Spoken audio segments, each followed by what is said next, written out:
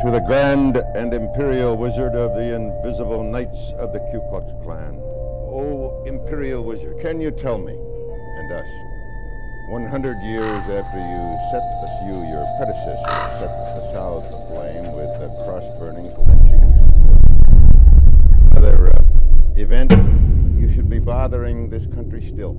To begin with, I, I believe a, a, slight rebuttal is in order